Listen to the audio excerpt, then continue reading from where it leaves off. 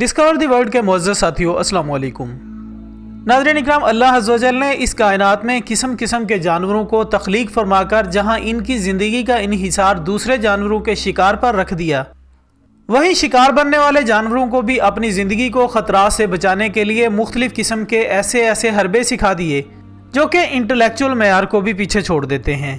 ان میں کچھ تو زہریلے ہوتے ہیں تو کچھ کی رفتار بہت ہی زیادہ تیز۔ اسی طرح کچھ چھپ سکتے ہیں تو کچھ اڑ سکتے ہیں، جبکہ چھپنے کی مختلف صلاحیتوں میں کئی ایسی عجیب و غریب تکنیک بھی شامل ہیں جو واقعی ناقابل یقین ہے۔ دوستو، انہی میں سے بعض کا تعلق سمندری مخلوقات سے ہے، جن کو قدرتی طور پر ایسی صلاحیتوں سے نوازا گیا کہ وہ اپنے آپ کو مختلف خطرات سے محفوظ رکھ سکتے ہیں۔ یعنی سمندری مخلوقات کی ایک قسم ایسی بھی ہے جس کا جسم تقریباً شفاف ہے۔ اور اسی وجہ سے شکاری جانوروں کے لیے انہیں دیکھنا تقریباً ناممکن ہو جاتا ہے۔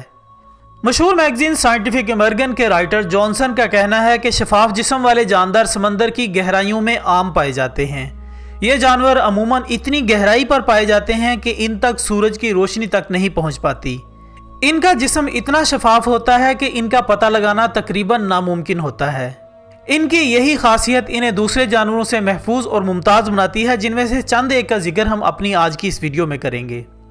تو دوستو، سب سے پہلے نمبر پر ہے فیرونی چونٹیاں۔ دوستو فیرونی چونٹیاں جنہیں انگریزی میں فاروینٹس یعنی فیرونی چونٹیاں کہا جاتا ہے، تقریباً دو ملی میٹر جسامت کی حامل ہوتی ہیں۔ یہ چونٹیاں پیلے یا بھورے رنگ کی ہوتی ہیں، جو زیادہ تر گھروں اور ہسپتالوں میں پائی جاتی ہیں۔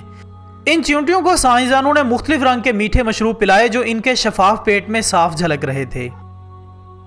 دوستو، نمبر دو پر ہے ٹرانسپیرنٹ مچھلی۔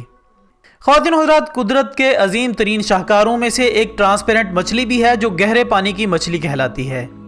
اس کا سر شفاف جبکہ اس کی آنکھیں روشنی کے معاملے میں انتہائی حساس ہوتی ہیں۔ اور یہ آنکھیں سیال سے بھرے مادے کے اندر ہی گھومتی ہیں جو کہ اس مچھلی کے سر میں ہوتا ہے۔ دوستو، کہا جاتا ہے کہ قدرت کے اس انمول شاہکار کو حال ہی میں پہلی بار فلمایا گیا جس کے سر کے اندر کا حصہ بآسانی دیکھا جا سکتا ہے۔ نمبر تین پر ہے ٹرانسپیرنٹ تتلی۔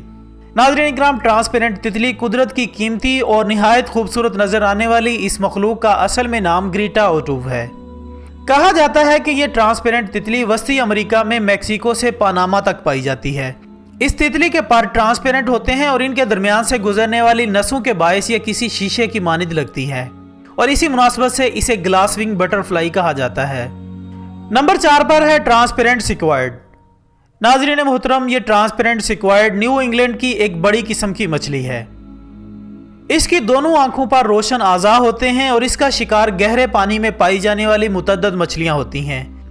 اور ساتھ ہی ساتھ ویل مچھلیاں اور سمندری پرندے بھی اس کے شکار کا حصہ بنتی ہیں۔ نمبر پانچ ہے ٹرانسپیرنٹ زیبرا۔ دوستو، قدرت کا ایک اور خوبصورت نگینہ ایک ایسی مچھلی ہے جسے ٹرانسپیرنٹ زیبرا کہا جاتا ہے۔ اس مچھلی کو سن دو ہزار آٹھ میں سائنسدانوں نے لیبارٹری میں تخلیق کیا جس کا مقصد براہ راست اندرونی اعضاء کو حرکت کرتے ہوئے دیکھنا تھا۔ اس کے ساتھ ہی ہماری آج کی اس دلچسپ ویڈیو کا اختتام ہوتا ہے۔ ہم امید کرتے ہیں کہ آپ کو ہماری آج کی ویڈیو ضرور پسند آئی ہوگی۔ اس ویڈیو کو زیادہ سے زیادہ لائک کیجیے گا، دوسروں کے ساتھ شیئر کریں اور کمنٹس کی صورت میں ہمیں بتائیں کہ آپ کو ہماری یہ کاوش کیسی لگی۔